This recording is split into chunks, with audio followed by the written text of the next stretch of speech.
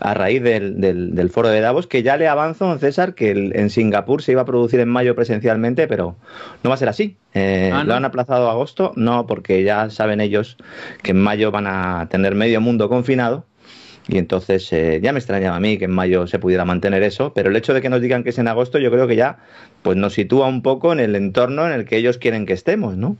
Porque o ya se supone que en agosto va a haber por lo menos un desconfinamiento parcial en agosto, por lo menos que les permita a ellos reunirse. En Singapur, era la idea, y bueno, pues ahora supongo que lo irán pensando, se lo irán planteando, por eso en este año pues se, produjo en la, agenda de Davos o la reunión de Davos vía online, estuvimos hablando la semana pasada de ello, muchos, insisto, eh, eh, se, han, eh, bueno, se han hecho eco con muchos medios de comunicación, y yo pues lo celebro porque la mejor manera de que esto no triunfe es que la gente lo sepa, porque tiene es un gigante con piel de barro.